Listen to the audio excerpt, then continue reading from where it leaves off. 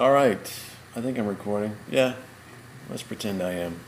Hey Pam, I'm going to show you how to do this uh, cropping feature as best I can. It's not an exact science yet in WordPress, but it works uh, fairly okay. This is my backend system for my uh, website. So we'll go to Media and add a new file. So just go browse to an image you want to crop and scale. I'll select this screenshot. As you can tell, it's 329 by 253, nowhere near uh, the size that I want it to be. So let's go ahead and edit it.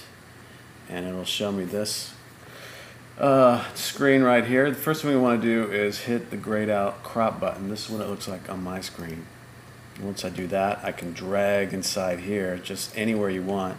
Then over here on the right, the image crop selection window, go ahead and type in the dimensions of 230 by 200 and then come back over here and the marquee will give you the opportunity to just move this around anywhere you want.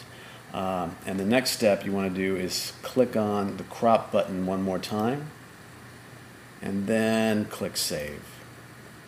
And that'll get you pretty much right on what you want. Sometimes it comes in at 229 by 200, but usually you should have 230 by 200 pretty much set the whole time and go ahead and save all your changes right after that.